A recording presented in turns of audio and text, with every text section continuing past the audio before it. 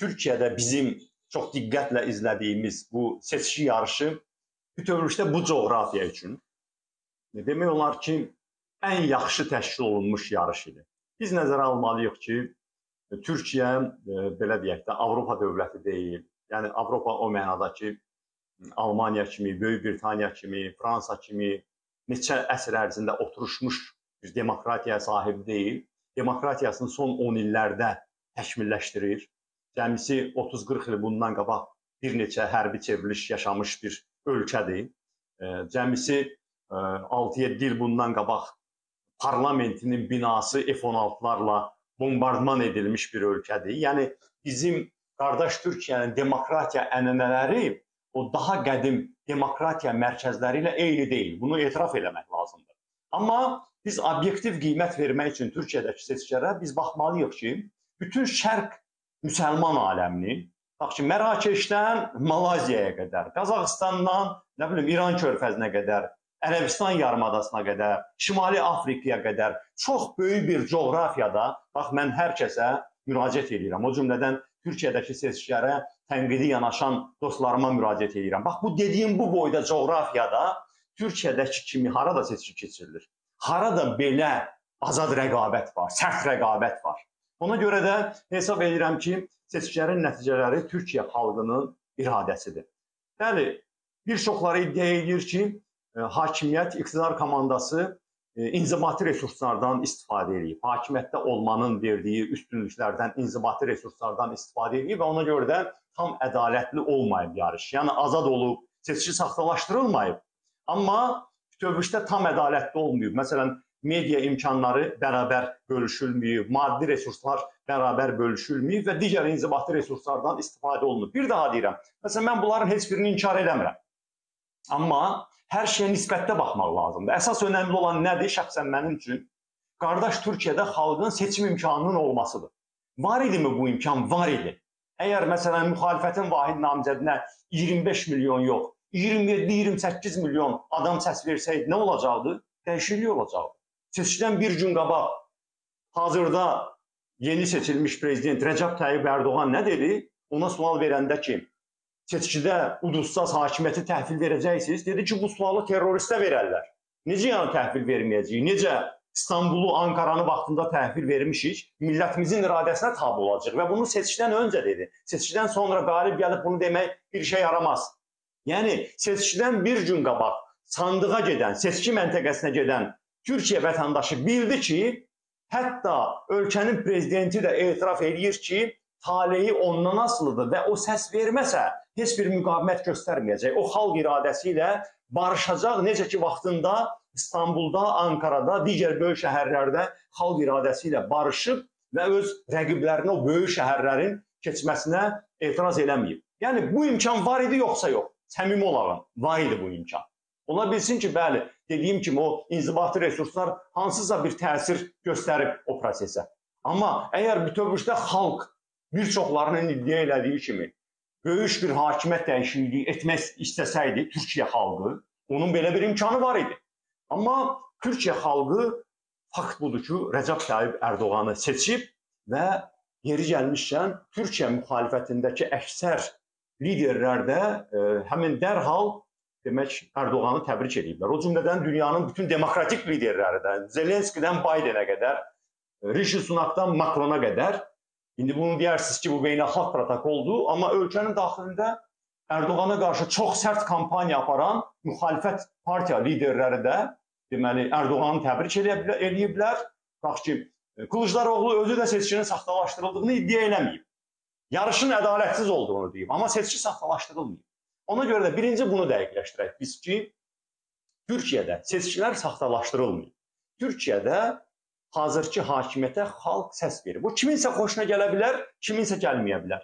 Kimsə hesab edə bilər ki, o daha ağıllı olduğuna görə o daha bilir ki, Türkiyə xalqı kimə səs verməli idi, amma Türkiyə xalqı bunu bilmir. Baxşı. Bunu kimsə iddia edə bilər, o da bunun hüququdur. Amma fakt faktlığında qalır ki, bu Türkiyə xalqının iradəsi ilə baş verir. Bunu nəyə görə dəqiqləşdirirəm? Və sizin sualınız çox aktual sualdır. Mən də bəzi müşahidələr etmişəm və yerində olan sualdır əslində. Həqiqətən də mən də müşahidə etmişəm ki, Azərbaycanda demokratik düşərgə hesab olunan dəyişikliklər istəyən bir sıra insanlara elə gəlib ki, əgər ə, e, Türkiyə prezidenti Ərdoğan vəzifəsində qalıbsa, bu İlham Əliyevin hakimiyyətinin uzun ömürlüyünə gətirib çıxaracaq. Mənim də bu indiyə qədər dediklərim onu göstərirdi ki, Ərdoğan axı səslə qalıb hakimiyyətdə.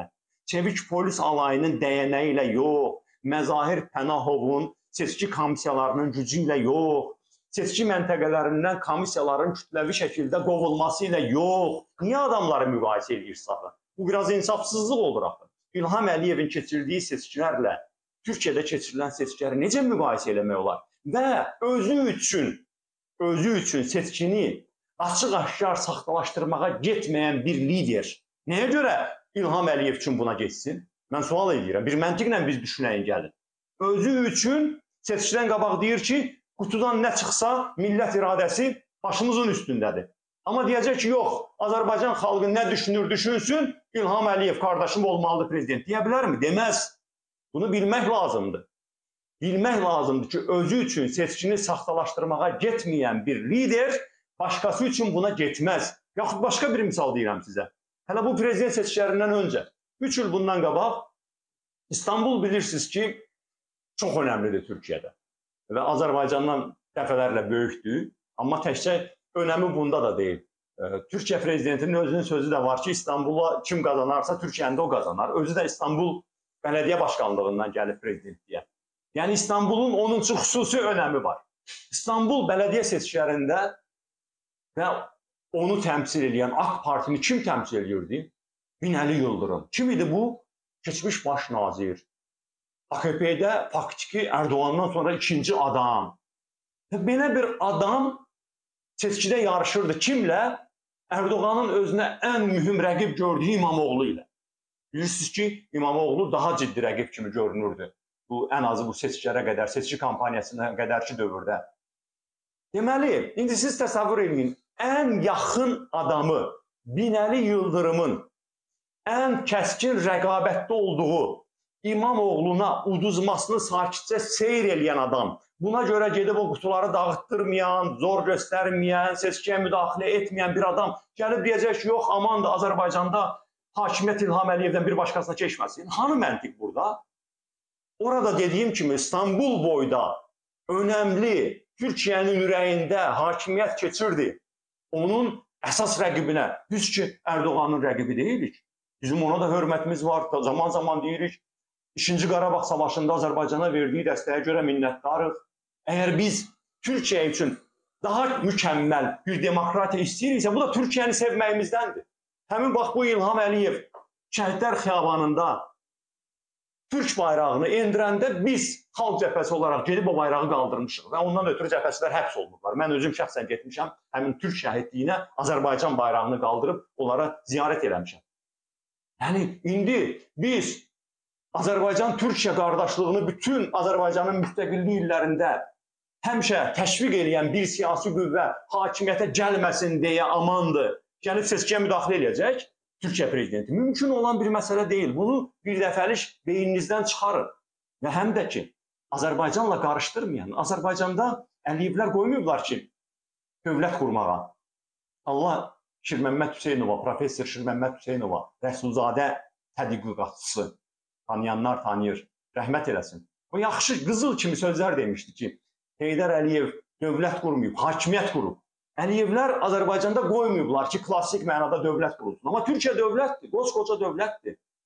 Türkiyəni necə ola bilər ki, qardaş da olsa xarici bir ölkənin işinə belə bir şəkildə müdaxilə etsin? Bu mümkün deyil. Deməli, birinci bu məsələni qoyaq qırağa. İki, hətta Türkiyənin belə deyək də, e, hansısa bir formadasa indiki, gələcəkdə olan rəhbərləri Azərbaycanda seçkiyə müdaxilə eləmək istəsə belə çox ciddi müdaxilə edə bilərmi? Mən düşünmürəm. Nəyə görə düşünmürəm? Birincisi bu günə qədər Azərbaycandakı avtoritarizmin dayağı həmişə Rusiya avtoritarizmi və Putin. Ha Türkiyə də bu avtoritarizmə də dəstək verib. Hər dəfə deməli seçkidən dərhal sonra saxtalaşdırılmış seçkilərdən sonra İlham Əliyevi təbrik ediblər. Amma açıq danışaq kim təbrik eləmir ki?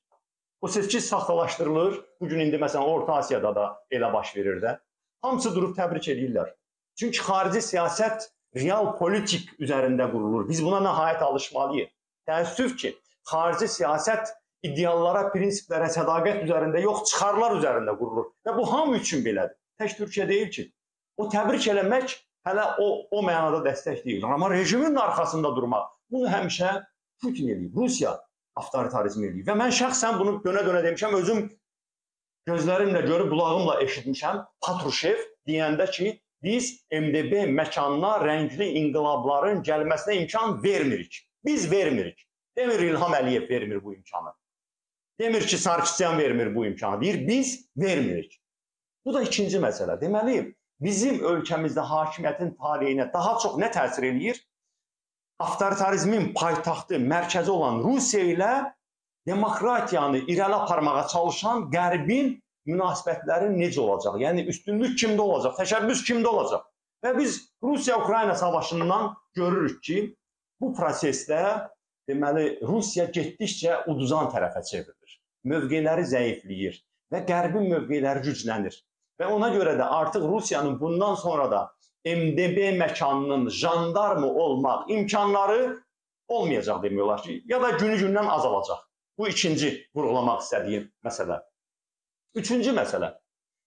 Ümumiyyətlə Azərbaycandakı seçkilərin taleyi iki mühüm faktorla bağlıdır. İki mühüm faktorla bağlıdır. Biri qəbul edirəm ki, biri geopolitik faktordur ki, dünyada elə bir şərtlər formalaşmalıdır ki, həmin o, o cümlədən Rusiya avtoritarizminin də zəifləməsi ilə elə bir şərtlər formalaşmalıdır ki, artıq Avropa Birliyi kimi, ABŞ kimi, Böyük Britaniya kimi demokratiya mərkəzləri regiona daha idealist bir yaxınlaşma qoya bilsinlər ortaya, daha idealist bir siyasət qoysunlar ortalığa və biraz qətiyyətlə demokratiyanı Azərbaycan hakimiyyətindən tələb eləsinlər. O cümlədən sanksiyaları anons eləmiş olsunlar və Azərbaycan hakimiyyəti bu reallıqla biraz yumşalmış olsun.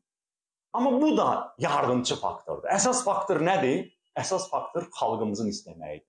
Baxın, bu barədə açıq danışmaq istəyirəm əziz həmvətənlər. Biz nəyə görə, necə oldu biz bu natamamlıq kompleksinə düşmüşük ki, bizim taleyimiz mütləq hardasa başqa bir yerdə həll olur. Fərq ola eləməz e, bu hansı paytaxtdır? Moskvadırmı, Brüsseldimi, Vaşinqtondurmu, Ankaradırmı? Fərq eləməz. Amma nəyə görə biz daim orada, burada başqa paytaxtlara baxmalıyıq, özümüzə inanmamalıyıq. Biz istəyəndən sonra heç kim bizi durdura bilməz. Mən sizə əmin edirəm. Heç kim. Baxın, indi 2-ci Qarabağ savaşı bir daha göstərdi ki, biz heç bir mənada bizimlə bir əsr müharibə aparmış, bizimlə düşmənçilik eləmiş, bizdən torpaq almaq istəmiş ermənilərdən əskik deyilik. Razısınız bu fikirlə, yoxsa yox? Biz onlardan əskik deyilik. Demirəm ki, artığıq. Əskik deyilik ki, ən azı. Bizim igidlərimiz alnı açıq, başı dik, şux qamətlə getdilər, biri də fərariliyi eləmədi. Onların 10 minin üzərində fərariləri oldu. Və döyüşlərin nəticəsində bilirsiniz. Biz belə bir millətik. İndi mən deyirəm, həmin o erməni xalqı Putinin ən yaxşı vaxtlarında, ən yaxşı vaxtlarında 2018-ci ildə Putinin adamlarını qovdu hakimiyyətdən. Qalxıb xalq işini görəndən sonra kim nə edəcək onu? Bəlkə, bəlkə Gürcüstanda Gürcülər oturub gözlədilər ki, Rusiyada dəyişiklik olsun, ondan sonra biz ölkəmizə sahib çıxarıq. Yenə də Putinin güclü olduğu bir zamanlarda Gürcü xalqı inqilab eləmədimi? Kimdən soruşdu Gürcü xalqı? Kimdən soruşdu? Heç kimdən soruşmadı. Qalxdı, inqilabını elədi. Dəyişiklik elədi. Bəs o boyda Ukrayna dünyanın taleyi üçün ən önəmli bir dövlətlərdən biridir. Özü təzə söhbət deyil ki, bunu vaxtilə Bizejinski yazmışdı ki, hələ 1997 ya 98-ci ildə yazdığı o şahmat taxtası kitabında əsaslandırırdı ki, Rusiya bundan sonra yenidən imperiya olacaq yoxsa yox sualı ilk növbədə Ukrayna Rusiyanın əsarətində olacaq yoxsa yox bundan asılıdır. Ukraynanı əlində saxlasa imperiya olacaq. Ukraynanı itirsə imperiya ola bilməyəcək. Yəni Ukrayna bu qədər önəmlidir. Ona görə bütün dünya dəyib bir-birinə Ukraynadan ötürü. Amma bu qədər önəmli Ukrayna nə zaman çıxdı Rusiyanın əlindən? 2014-cü ildə. 2014-cü ildə Putinin qılıncının hər iki tərəfi kəsirdi. Kim nə deyə bilirdi o zaman Rusiya rəhbərliyinə? O vaxtlar 9 may paradına 30-40 dövlət başçısı gəlirdi Putinlə yanaşı. Rusiyanın rəhbəri böyük yeddilikdə 8-ci lider kimi iştirak edirdi bütün bu proseslərdə. Bütün qərb liderləri hörmətlə yanaşırdı Putinə və Putin də istədiyini eləyirdi. Amma o zaman Ukrayna xalqı kimdənsə soruşdu mu, kiməsə sağa sola boylandı mı, getdi taleyinə sahib çıxdı. Ona görə də əziz həmvətənlər, yetər gözümüz orada qalsın, burada qalsın. Orada nə baş verəcək, bizə necə təsir edəcək? Burada nə baş verəcək, bizə necə təsir edəcək? Qoy biz burada hərəkətə keçək, görək kimə necə təsir edəcək. Ona görə də bunu bir mənalı şəkildə bilmək lazımdır ki, bir Azərbaycandakı prosesə Türkiyədən neqativ təsir olacağını düşünmürəm və açıq deyirəm ki, hətta belə bir səhvə nə zamansa Türkiyə rəhbərliyi getsə bu əks effekt verər. Bütün insanlar üçün gördünüz İlham Əliyevin Türkiyədəki seçkilərə müdaxiləsi Türkiyədə necə etirazlara səbəb oldu? Yaxşı ki, biz balansı saxlamışdıq. Biz əvvəlcədən elan eləmişdik ki, Türkiyə xalqı kimi seçəcəksə başımız üstə yeri var. Hörmətimiz var. Kimi seçir seçsin. Türkiyə millətinin iradəsidir. Ona görə də bu tənələr bütövlükdə Azərbaycana gəlmədi, İlham Əliyevə getdi. Çünki orada da başa düşdülər ki, Azərbaycanda sağlam, demokratik düşünən insanlar bu işə qarışmadılar ki, dedilər ki, seçmək haqqı türk millətinindir, kimi seçəcək, o həll eləyir. Amma İlham Əliyev heç zaman Türkiyə toplumundan görmədiyi təzyiqləri, təpkiləri seçkiyə müdaxilə elədiyinə görə gördü. Və sabahları tutaq ki, lap nəzəri cəhətdən deyək də, mən burada məntiq görmürəm, gözləmirəm, inanmıram. Amma tutaq ki, Türkiyənin rəhbərliyi, lap şəxsən Rəcəb Tayyib Ərdoğan Azərbaycandakı həmin o proseslərin taleyini müəyyənləşdirməyə cəhd elədi. Bəs Azərbaycan xalqı hara baxır? Azərbaycan xalqı buna əks reaksiya verər. Bəli, bunu hər kəs bilməlidir. Biz suveren dövlətik. Bəli, qardaşıq, amma Türkiyə də bir dövlətdir, Azərbaycan da bir dövlətdir. Mən bunu vaxt bu seçkidən nə qədər əvvəldən təbliğ eləyirəm. Çox arzulayıram ki, Azərbaycan xalqı bunu belə də qəbul etsin. Bəli, biz qardaş dövlətik belə də qalmalıyıq. Hökumətlər kim olur olsun, hökumətlər gəlib gedəcək, dəyişəcək. Bir-biri ilə çox yaxın dost ola bilərlər, biraz münasibətləri soyuq ola bilər. Amma bu qardaşlıq daimi olmalıdır. Təkrarlayıram. ABŞ Böyük Britaniya münasibətləri bizə örnək olmalıdır. Bax, o şəkildə bizim bir strateji müttəfiqliyimiz olmalıdır. Amma necə ki ABŞ Böyük Britaniya bir-birinin seçkisinə müdaxilə eləmir, bu qədər yaxın ikən biz də bir-birimizin seçkisinə müdaxilə etməməliyik. Buna alışmalıyıq və yaxud tərəflərdən biri necə deyirlər o el arasında deyildiyi kimi Allahın gözündən düşüb bunu özünə rəva görərsə, əks tərəfdəki millət onun dərsini verməlidir ki, çəkin bizim daxili işimizə qarışma. Ona görə də bu söhbətləri mən belə deyə əsassız narahatlıq hesab eləyirəm. Bəli, etiraf eləyirəm ki, bu günə qədər Azərbaycandakı ailə hakimiyyətinin qorunub saxlanmasında, möhkəmlənməsində Putin hakimiyyətinin Kremlin böyük rolu olub. Amma yaxşı halda Azərbaycan xalqı üçün yaxşı xəbərdir ki, artıq o sarsılır, artıq o rejimin uzun müddət vaxtı qalmayıb. Və nəhayət üçüncü altını cızıram sadəcə olaraq dediklərimin. Üçüncüsü lap ayaqda qalsın. Nəzəri cəhətdən. Mənim verdiyim misallar vardı. Mənim verdiyim misallar vardı. O cümlədən o ikisini də əlavə edeyim nisbətən kiçik dövlətlər. Azərbaycandan da qat-qat kiçik, imkansız dövlətlər. Qırğızistanda, Moldaviyada, xüsusən Moldaviya, MDB-nin ən kiçik, ən kasıb ölkəsi. Nə zaman xilas olub Rusiya hakimiyyətindən? Elə Putin hakimiyyətdə olanda xilas olub da. Əgər bunu həmin o balaca kasıb Moldaviya bacarırsa, biz necə özümüzə rəva görməliyik ki, biz deməli öz taleyimizi ancaq buraxmalıyıq xarici faktorların öhdəsinə. Biz əgər millət olaraq nə zaman qərara gəlsək ki, biz ölkəmizdə dəyişiklik eləyirik, mən sizi əmin eləyirəm, Bu gün dünyada elə bir güc yoxdur ki, Azərbaycan xalqının iradəsinin üzərinə iradə qoysun. Azərbaycan hakimiyyəti özü də barışacaq o iradə ilə. İndi bizdə məsələn belə bir təəssürat var e, ki, İlham Əliyev xalq iradəsini qəbul etmir. Xalq nə vaxt özünü saydırdı ki, o da qəbul etmədi. Xalq özünü saydıranda çox rahat qəbul edəcək. Mən